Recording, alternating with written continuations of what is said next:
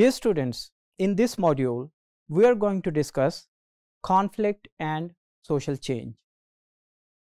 And for this, we are going to talk about Karl Marx ideas about the social change. Karl Marx, a foundational figure in sociology, saw conflict, particularly the class conflict, as a primary driver of social change. His perspective, known as the conflict theory or Marxist theory, sees societies as characterized by struggles for power and resources. तो Karl Marx का ये ख्याल था कि जो social change अकर होती है वो हमेशा दो इकोनॉमिक क्लासेस के दरमियान पावर स्ट्रगल के नतीजे में अकर होती है और किसी भी माशरे के अंदर किसी भी सोशल सिस्टम के अंदर अगर आपने माशरे में पैदा होने वाली तब्दीलियों को अंडरस्टैंड करना है तो आपको उस माशरे में मौजूद क्लास स्ट्रक्चर को अंडरस्टैंड करने की ज़रूरत है। So he argued that capitalist societies are mark by fundamental conflict between the bourgeoisie which are the owning class and the proletariat और the working class bourgeois class जो है, वो है जिसके पास मीन्स ऑफ़ प्रोडक्शन है और प्रोलिटेरियट क्लास जो है, वो वर्किंग या लेबर क्लास कहलाती है। तो मार्क्स का ये ख्याल था कि ये दोनों क्लासेस जो हैं, एक कंटिन्यूस कॉन्टेस्टेशन और कॉन्फ्लिक्ट और स्ट्रगलिंग पोजीशन के ऊपर रहती हैं और दोनों क्लासेस के जो हैं, वो अपने अपने मकासद हैं।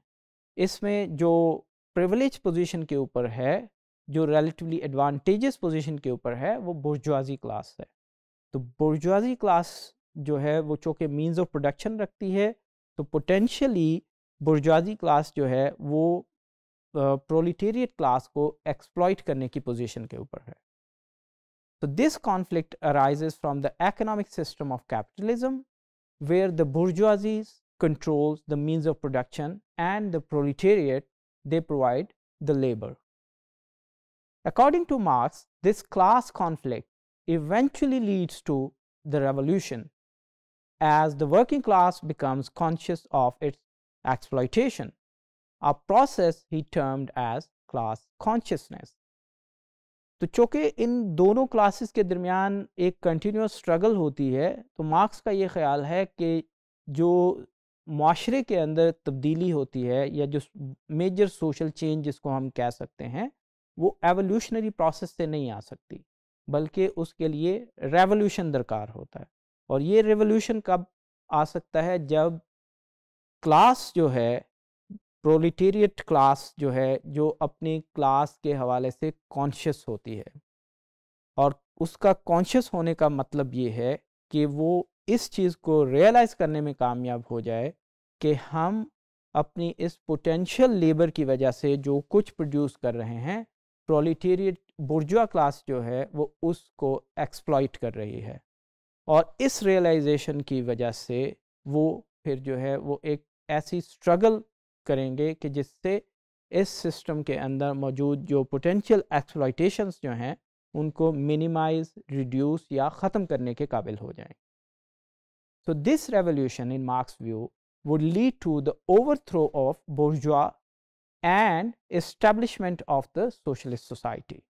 So in the Marxist perspective, social change is not a smooth or gradual process, but rather a series of upheavals and revolutions.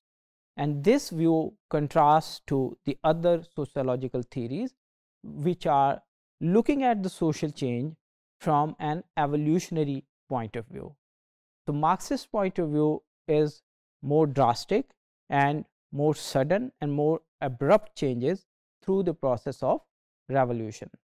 So, he emphasizes on the role of economic structures and class conflict in driving the social change that provides a powerful lens through which to analyze these social transformations. So, his theories continue to shape the sociological understandings of social change, inequalities and conflicts in the societies.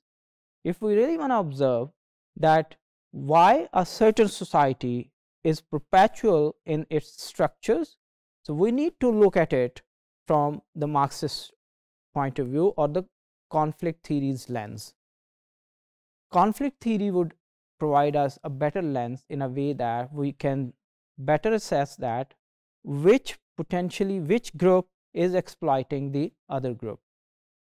Lastly, the Marxist ideas also give rise to the concept of dialectical materialism. It is a framework for understanding the progression of ideas and the society that emphasizes the importance of material conditions as the basis of societal change.